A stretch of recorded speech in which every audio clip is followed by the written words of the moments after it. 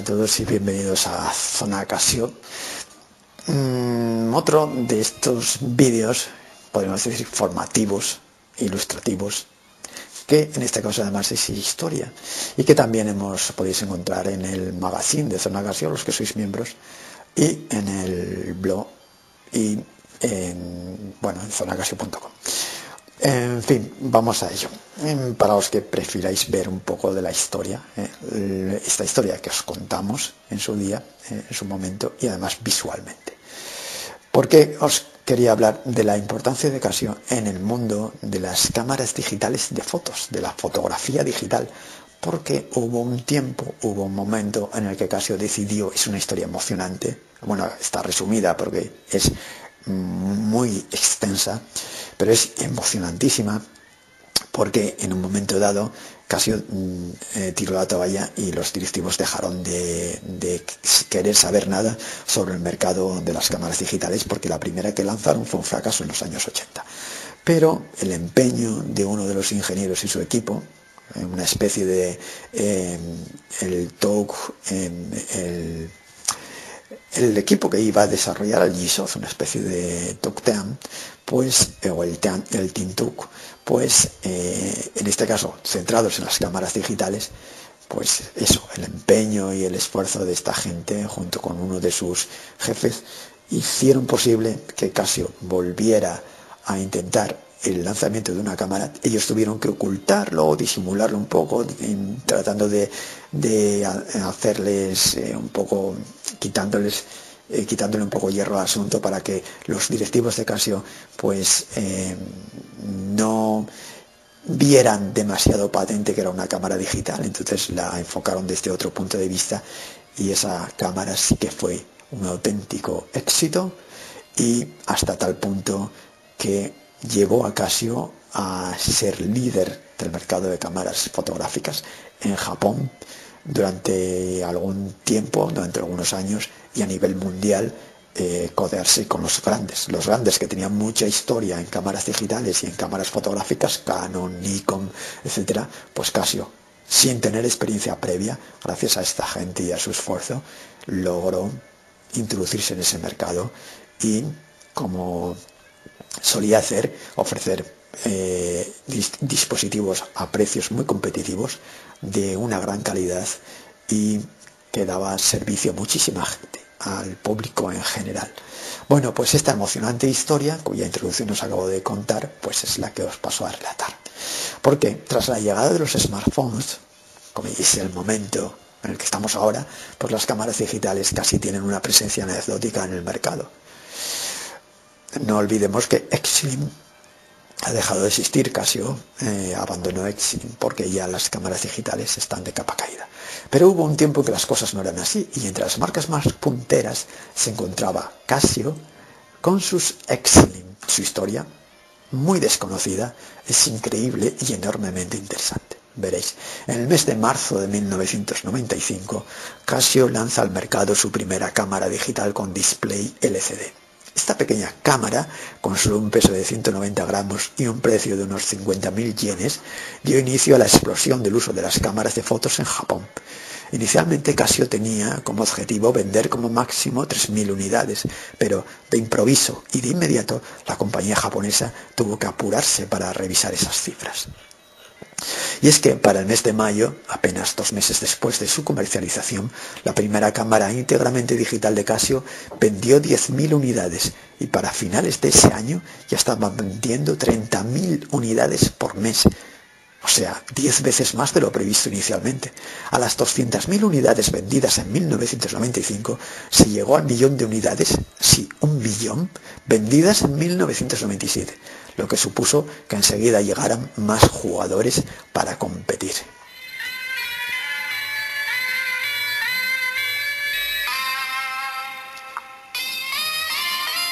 La Casio QV10, que es esta cámara de la que os estaba hablando, tuvo un impacto en el mercado de las cámaras digitales tremendo. Lo primero, su concepto permitía que se pudieran utilizar sus imágenes en el ordenador y también usarlas en Internet. Esto significaba que los usuarios podían sacar fotografías, hacerse fotografías y llevarlas a su PC para compartirlas con el resto del mundo. Otro de sus grandes atractivos era, como solía ser habitual en Casio, su precio, mucho más interesante que sus rivales y ofreciendo funciones muy útiles. Mientras la competencia de aquellos años vendían sus cámaras por encima y bastante por encima de los 100.000 yenes, la QV10 de Casio llegaba a costar en la calle alrededor de la mitad. Y finalmente, pero no menos importante, Casio había tenido la fantástica idea de ponerle un display LCD que permitía al usuario ver la imagen que iba a sacar antes de hacerle la foto. Fue la primera cámara en ofrecer algo así, algo que luego se sería elegido por la industria como estándar. Pero lo auténticamente alucinante de todo esto es que Casio, a diferencia de muchas otras marcas, no tenía apenas experiencia previa en cámaras digitales. Sus rivales ya producían incluso cámaras de vídeo y tenían ventaja en electrónica, al ser incluso en determinados casos fabricantes de semiconductores como, como Sony. ¿Cómo pues lo consiguió Casio? Pues hagamos un poco de historia.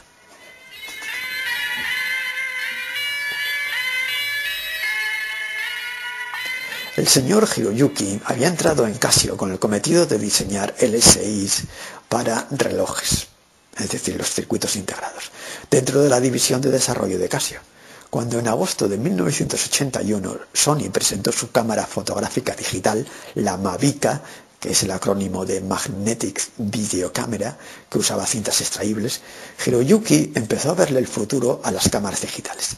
De hecho, el lanzamiento de Sony conmovió a muchos otros fabricantes, hasta tal punto que se le denomina a ese momento como el Mavica Shock, en referencia al shock que causó a la industria, y muchos empezaron a especular que esas cámaras llegarían tarde o temprano a reemplazar a las tradicionales cámaras de carrete, las analógicas. De modo que Hiroyuki enseguida vio la estupenda oportunidad que se le abría a Casio. De hecho, esos dispositivos almoldaban perfectamente a la filosofía de la compañía japonesa.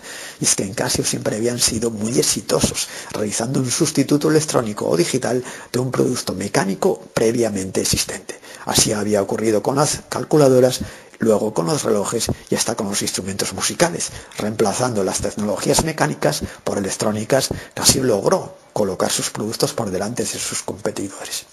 Ese nuevo mercado parecía, por lo tanto, ideal para Casio, y Hiroyuki supo instintivamente que las cámaras digitales se convertirían en la próxima línea de negocio de Casio.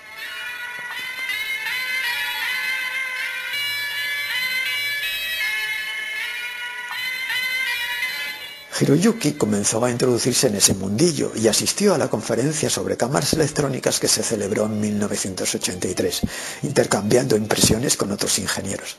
El objetivo de dicha reunión era establecer el estándar Mavica como proceso de grabación de imágenes para la industria, es decir, el estándar que usaba Sony en la suya. En esa conferencia se reunieron 42 fabricantes de electrónica y el ingeniero de Casio llegó de aquella reunión aún más convencido sobre la viabilidad del negocio tal como hiciera Kiko Ibe con su concepto de reloj resistente, de lo cual nacería Gisos. Hiroyuki decidió presentar su propuesta a sus superiores. En mayo de 1985, cuatro años después de la presentación de la Mavica, le permitieron liderar un equipo dentro de la división de, I+D, de Investigación más Desarrollo, que debería desarrollar la tecnología de cámaras digitales de la firma nipona bajo el llamado Proyecto K. Una vez aprobado dicho proyecto, Hiroyuki comenzó a reclutar personal para su equipo eligió a una serie de nombres y tras enviar la lista a su superior comenzó a entrevistarlos individualmente. Al final reunió a ocho empleados de Casio para comenzar a trabajar. Entre los miembros del equipo se encontraba un ingeniero en óptica de la división de impresoras proveniente de la Casio Electronics Industry, el cual había sido fichado por Casio por su experiencia previa en otro fabricante desarrollando óptica y mecanismos fotográficos. Un joven que acababa de entrar en la compañía hace apenas un año antes fue elegido por Hiroyuki para ocuparse del desarrollo del LSI y diversos componentes físicos electrónicos de la cámara. Otra de las personas que el ingeniero eligió fue un desarrollador en software de MSX, que pertenecía a la división de calculadoras, con el fin de desarrollar el software que gestionaría las funciones de la cámara. El resto de integrantes llegaron de la división de relojería de Casio.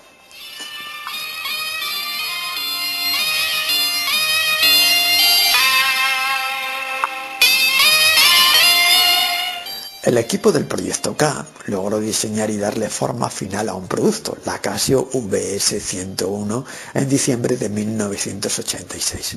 Teniendo en cuenta que del hardware de la misma se había encargado un ingeniero de impresoras, no debería sorprender que esta cámara realizase sus copias de forma mecánica, siguiendo el ejemplo que ya había iniciado Sony. Llama la atención que fue la primera cámara de su tipo que se ofrecía al público. Es cierto que Nikon tenía su QV1000C, pero no estaba a la venta para todo tipo de usuarios, sino que únicamente se ofrecía a periodistas, a fotógrafos, lo que nos da una idea de lo elitista que era ese mercado hasta la llegada de Casio para popularizarlo entre todo el mundo. Como los rivales vendían sus cámaras a unos 200.000 yenes, Casio fijó el precio de su VS101 muy por debajo, en 125.000 yenes, casi la mitad de lo que costaban las otras cámaras. La Casio VS101 disponía de un sensor MOS de media pulgada desarrollado por Itachi con 300.000 pesos. Para el procesamiento y la grabación de imágenes siguieron el estándar del entonces, utilizando la tecnología de vídeo de Mavica. Tecnológicamente se podría decir que una cámara electrónica analógica, ya que la señal de imagen del sensor era procesada analógicamente y luego se modulaba en FM para grabarse en el disquete de 2 pulgadas.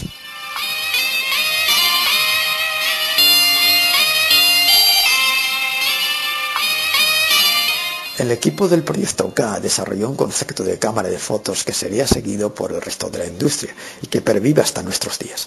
La posibilidad, por ejemplo, de grabar todas las fotos que quieras, conserva las que necesites y borra el resto, nació con esta cámara y aunque era un dispositivo analógico con electrónica, la posibilidad de tener salida de televisión, puerto de impresora y ese tipo de conexiones siguió vigente desde entonces. No solo eso, sino que también era capaz de ofrecer impresora de vídeo OEM, que se la fabricaba Itachi, como periférico, sino olvidar elementos como flash. Fue entonces cuando Casio decidió dedicar toda una división a estas nuevas tecnologías, echó la campana al vuelo y así vio la luz la división de equipamiento visual. Todos los miembros que formaban parte del proyecto K pasaron de inmediato a pertenecer a esa nueva división. Además, se incorporó nuevo personal para la gestión de producción, materiales y control de calidad. Pasaron a ser tan importantes los productos a desarrollar por esta división que la cámara VS-101 no se destinó a fabricarse en la factoría de Aichi, donde ya se fabricaban los televisores de Casio, sino en la factoría de Yamagata, donde antaño como hoy se producían los relojes. Otro aspecto que inclinó la balanza hacia Yamagata fue que Hiroyuki tenía colegas en la línea de producción de relojería y para finalmente decantar la decisión, la planta de Aichi solamente disponía de una línea de producción, lo que a vistas de lo que se esperaba Casio del negocio de la fotografía digital y de las ventas que pensaban ellos iban a tener, no sería suficiente.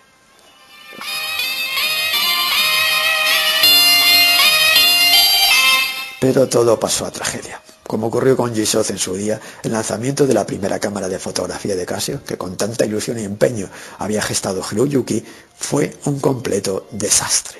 Los directivos de Casio confiaban en vender 10.000 unidades por mes, pero solamente llegó a vender poco más de 3.000 durante el tiempo que permaneció en los escaparates. El mercado no estaba preparado para un dispositivo tan sumamente revolucionario y en Casio decidieron finalmente archivar el asunto y detener el desarrollo de las siguientes versiones de la cámara.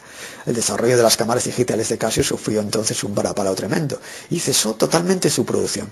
No nos podemos ni imaginar lo que semejante tragedia causaría en el ilusionado Hiroyuki y la tremenda decepción que debía soportar. Porque fijaros, ponen en marcha una división específica para cámaras digitales y tienen que volverse atrás con todo.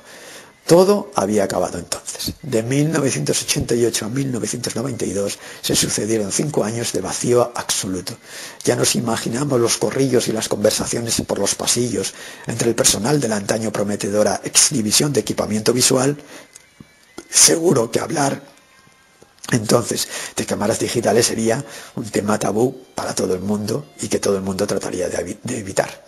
Tanto es así que los miembros del antaño Proyecto K fueron reasignados al Departamento de Investigación, que pertenecía a una nueva estructura dentro de la división de I+D.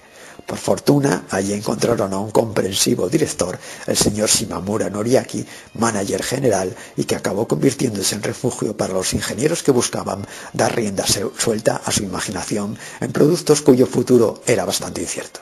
Allí encontramos ahora a Hiroyuki, el cual, como si de un científico loco se tratase, se negaba una y otra vez aceptar que la fotografía clásica con películas y revelado siguiera teniendo pujanza en el futuro.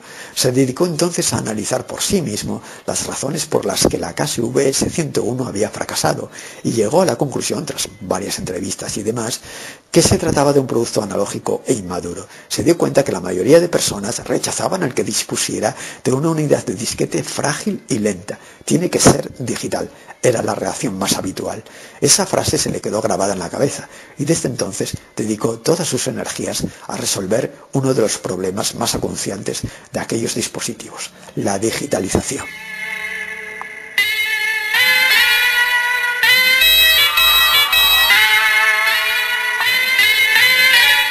En su cabeza todo parecía encajar, pero claro, una cosa era lo que él creía y otra muy diferente lo que creían sus jefes en Casio. El desarrollo de cámaras digitales ya no se consideraba algo prometedor. En Casio ya habían tenido bastante con lo que había ocurrido y no querían ni oír hablar del tema. A Hiroyuki le resultó muy difícil incluso conseguir el personal mínimo para tener esa segunda oportunidad. Si bien es cierto que algunos de los primeros miembros del proyecto K estaban en su mismo departamento, los cuatro ingenieros procedentes de la división de relojería habían sido trasladados a otras secciones, porque desde la dirección entendían que no había futuro para las cámaras digitales. Por lo tanto, de aquel equipo, Hiroyuki solo podía contar con cuatro, el ingeniero óptico, el desarrollador de software, el ingeniero electrónico y el propio Hiroyuki. Pero, a pesar de ese revés, los cuatro decidieron volver a intentarlo. Los problemas por resolver eran tremendos por aquel entonces. No olvidemos que toda la tecnología de este tipo estaba en ciernes todavía. Pero resultó que por aquel mismo tiempo acababa de surgir un nuevo sistema de tratamiento de imágenes, el formato de compresión JPEG o JPG. ¿eh? Los cuatro ingenieros tuvieron entonces la genial idea de adoptarlo para su dispositivo como tecnología de compresión y visualización de imágenes. No se acababan ahí los contratiempos. Otro problema no menor era el del tratamiento de las señales ópticas del sensor, del CCD, y su conversión a imágenes como tales. Y por si ello fuera poco, también estaban en pañales en cuanto a la tecnología de lentes, de autofoco y de zoom. Y para desquiciarse, la propia arquitectura del producto, la tecnología para que fuese un dispositivo competitivo y viable de fabricar. De la desolación de Hiroyuki nos da muestra claramente una de sus frases, recordando en aquellos, aquellos momentos. Fue un periodo difícil, es muy frustrante pasar cinco años sin poder hacer nada, decía el ingeniero de Casio. Pero aunque no lograban un producto definitivo, esos cinco años de oscuridad y vacío no fueron realmente de tal vacío. Consiguieron sacar adelante algunos prototipos que superaban los problemas técnicos de digitalización y paradójicamente ese periodo de oscuridad fue el que sentó las bases para el gran éxito que cambiaría el mundo de la fotografía digital para siempre, la Casio QV10.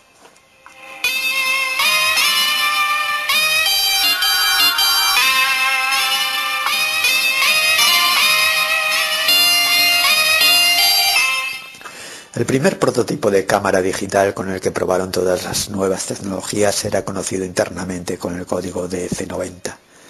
Esta cámara disponía de 12 megas de memoria capaz de procesar señales digitales. Dado que todavía estaban trabajando en el procesamiento de datos, las imágenes eran almacenadas sin compresión alguna, pero dejando eso de lado, Hiroyuki y su gente habían conseguido salvar los obstáculos del procesamiento del color, la ingeniería y las ópticas. Pero mientras unas cuestiones se resolvían, surgían nuevos problemas. Por ejemplo, el consumo de energía del prototipo era tan grande que se le apodaba con el gracioso nombre de Atsuko, chico caliente, porque daba como resultado un notable calor. Como en el diseño habían previsto un hueco para colocar el cristal del visor, decidieron poner allí un ventilador para solucionar el tema del calor. Pero claro, al hacer eso, el usuario no podía ver lo que estaba fotografiando y ese problema llevó a una solución inesperada, colocarle una pantalla en lugar de la ventanita óptica. Casio ya contaba con mucha experiencia en pequeños displays a color para sus dispositivos de televisión, por lo que cogieron uno y se lo colocaron en la parte trasera de la cámara. Como no tenían mucha confianza en que Casio volviese a apostar por ese tipo de dispositivos, Hiroyuki y su equipo lo hacían con total libertad, resolviendo problemas como si se tratase de un juego. Tal es así que la DC-90 la consideraban más que un dispositivo serio, un juguete. Pero a medida que la iban mostrando a unos y a otros, también iban notando lo gratamente sorprendidos y entusiasmados que respondían. Dado que la DC90 contaba con una interfaz de entrada y salida para computadora, decidieron probar a llevarla a un nuevo nivel y ofrecer conexión a cualquier PC. Pero en aquellos momentos las posibilidades de que un ordenador tradicional pudiera gestionar algo así eran claramente limitadas. Pero eso llevó a que el siguiente prototipo, conocido como CT300, se tomase ya de inicio la posibilidad de una interfaz de conexión desde su desarrollo. Sanyo les manufacturó el sensor y de Itachi consiguieron la CPU para gestionar todo el trabajo. Esta combinación resultó tan ideal que la veremos luego en el producto definitivo, en la Casio QV10. Pero los directivos de Casio ya habían tenido bastante y lo de desarrollar encima periféricos con el desastre del primer modelo de cámaras no les entusiasmaba demasiado. Así que Hiroyuki cambió de perspectiva y se puso en contacto con la división de calculadoras que ya disponían de impresora propia para ayudarles en el tema de la conectividad.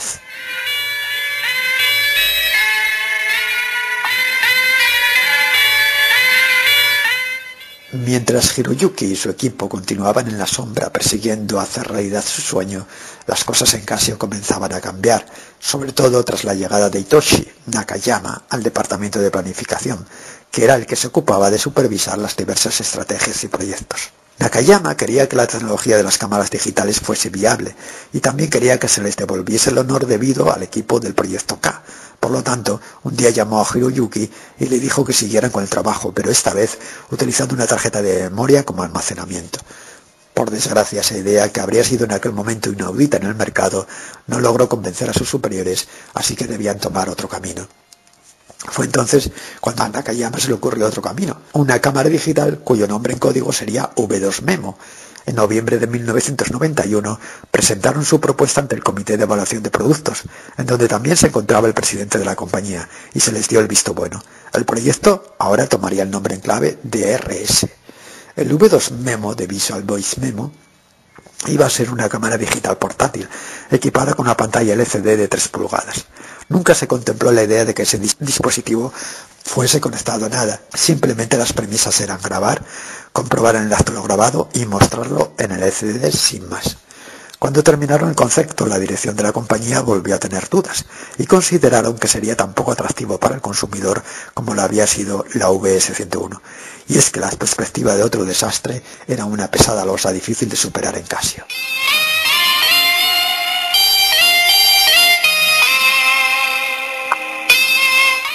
Así las cosas, para Hiroyuki volvía a torcerse la situación. Un año después, el 9 de diciembre de 1992, fue a reunirse de nuevo con Nakayama. Este le dijo que para que la dirección de le aprobara el proyecto, debía de abordarlo desde otra perspectiva, no la de una cámara de fotografía que, que hace eso, fotos, sino una pantalla de televisión que muestra fotos, donde lo importante y lo que fuese protagonista sería el display y no la lente. La cuestión era que el negocio de televisión en Casio no estaba yendo muy bien. Sí, la más pequeña televisión del mundo, la Casio CV1, estaba siendo un éxito, pero eso había llevado a que se hubieran invertido 20.000 millones de yenes construyendo una planta de paneles TFT en Kochi, que no estaba dando los beneficios previstos.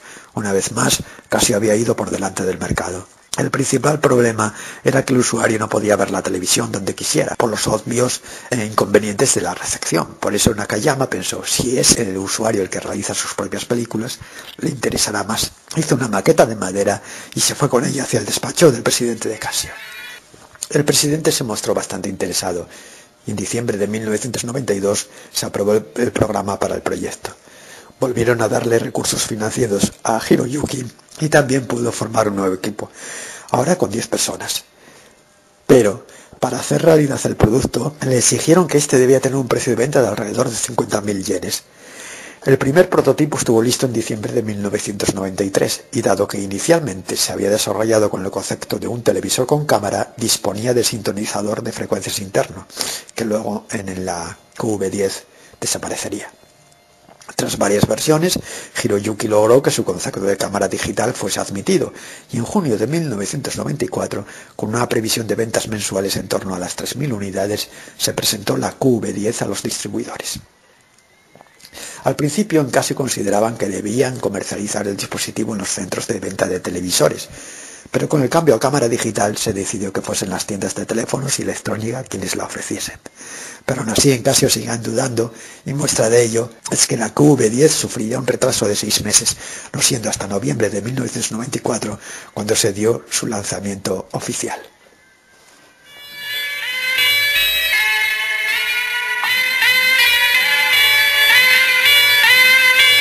La alta dirección en Casio seguía teniendo serias dudas sobre la viabilidad de esos dispositivos.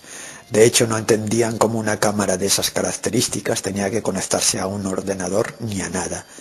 Las cámaras convencionales no lo necesitaban y triunfaban.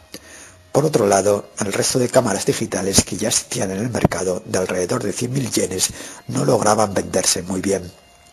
Y para cómo, el drama con la VS-101 había generado una cierta desconfianza entre el público, una especie de Casio no sabe hacer buenas cámaras de fotos. Nakayama expresa muy bien todo ello al recordar aquellos momentos. La gente vio que eran las mismas personas haciendo otra vez una cámara de fotos. Nadie estaba dispuesto a apostar por nosotros. Otra muestra de ese desprecio, Casio solía anunciar sus productos nuevos con presentaciones por todo lo alto a las que acudía el presidente. Sin embargo, en esta ocasión trataron de presentar la QV10 a la par de otro lanzamiento para tratar de mantenerla oculta y que no se le diera demasiado protagonismo. Finalmente no ocurrió así, pero la presentación de la nueva cámara digital fue un tanto anodina y sin demasiado glamour, un poco por si las moscas. Simplemente se repartieron los folletos y poco más. No hubo ni discursos ni festejos. Hasta los vendedores renegaban del nuevo producto de cámara de Casio. Algunos decían que como máximo se venderían 300 unidades al mes. Sin embargo, los acontecimientos sorprendieron a propios extraños, excepto al equipo de Hiroyuki, por supuesto.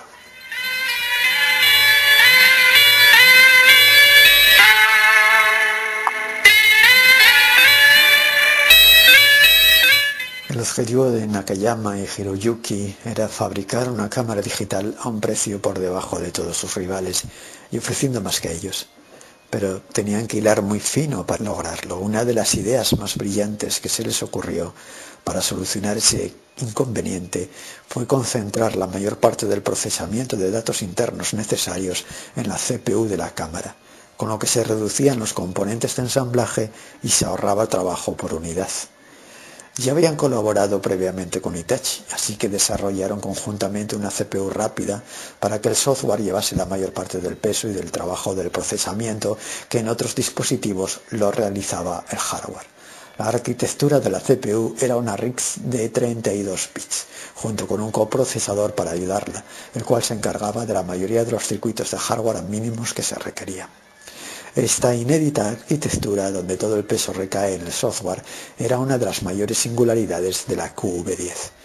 Pero además, esa forma de afrontar el problema aportaba ventajas inesperadas, como por ejemplo el menor consumo de energía y también de elementos móviles y generación de calor.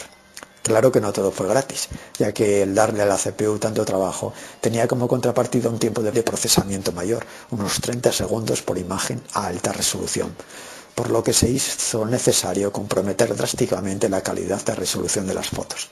Eso explica por qué, a diferencia de sus competidores que como estándar ya ofrecían resoluciones de 640 x 480, la de Casio no podía pasar de 320 x 240. Curiosamente, lo que a priori parece una desventaja, en realidad jugó a favor de la cámara de Casio. ¿Por qué? Por la conectividad. La gente ya empezaba a publicar sus fotos en la web, y en aquellos tiempos de la lenta Internet, la mayoría prefería imágenes a poca resolución.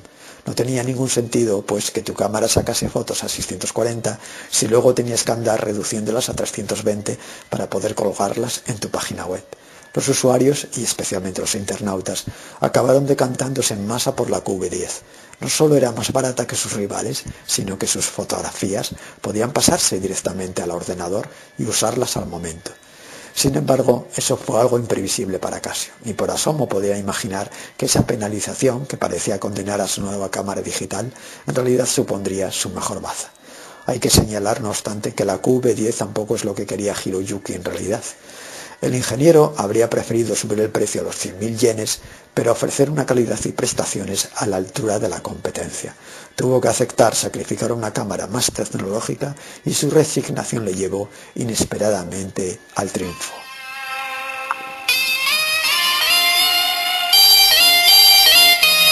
pero su conectividad al PC no lo veían como algo importante en la dirección de Casio, así que trataron de quitarle esa idea de la cabeza a Hiroyuki. Su respuesta ante tal propuesta fue tanjante, solo le quitarán el puerto de entrada sobre mi cadáver.